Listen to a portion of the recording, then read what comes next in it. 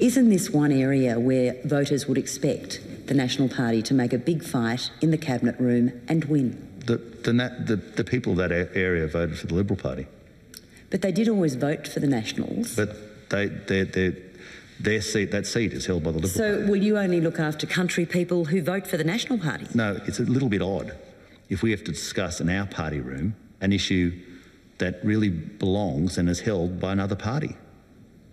Doesn't this go, though, to traditional national principles that you have a, a national icon in the bush, in an electorate held once by your party's, one of your party's icons, But- and you could do nothing to try to save it?